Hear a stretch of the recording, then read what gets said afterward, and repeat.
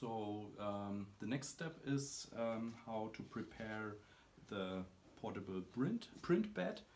Um, so for the, for the for the print bed you need a piece of wood, and I would recommend that the wood is not too thick and uh, not too hard, and it should be ideally a little bit uh, bigger than your felt.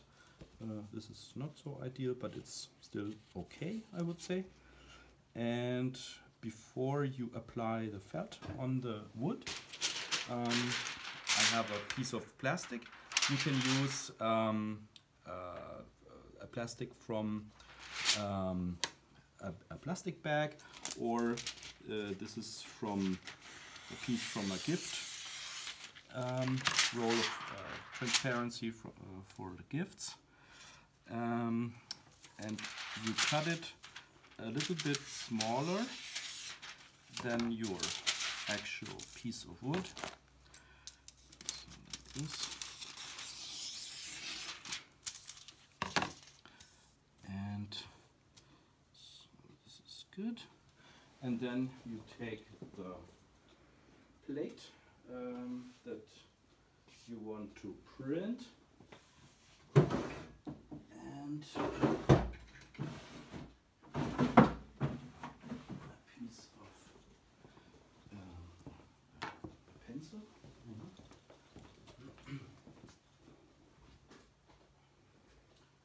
So, so you put your plate on the transparency and mark where you place the ink inked plate later. And then you can take it off and turn it upside down. And now you can tape it on your wooden board.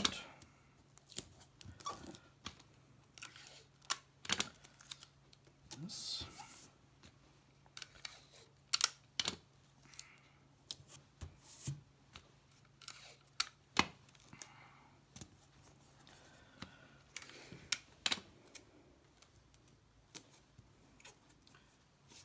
Now you can clean uh, the transparency after printing uh, without removing um, the Sharpie lines.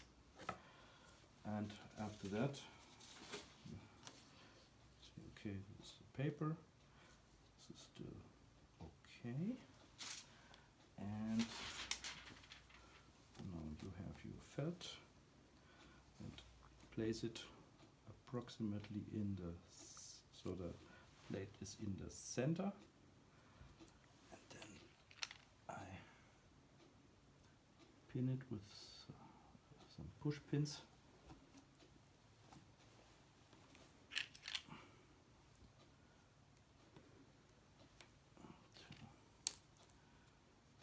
This is okay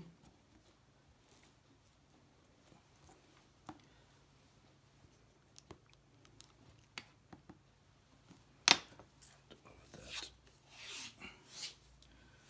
I will put some tape.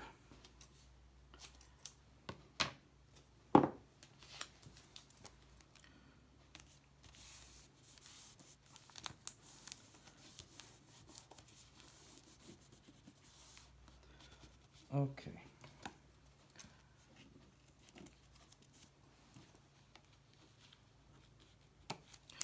So now we pre have prepared this and you can open the um, the print bed put your inked plate here put another piece of paper on top and uh, put down the felt and I would um, suggest to print from this side so I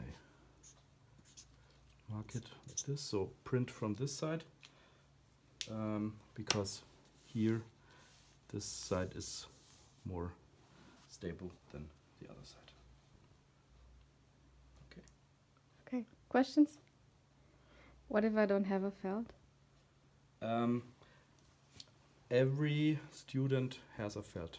Ah, okay. I prepared some ah, Intaglio kits for printing at home. perfect.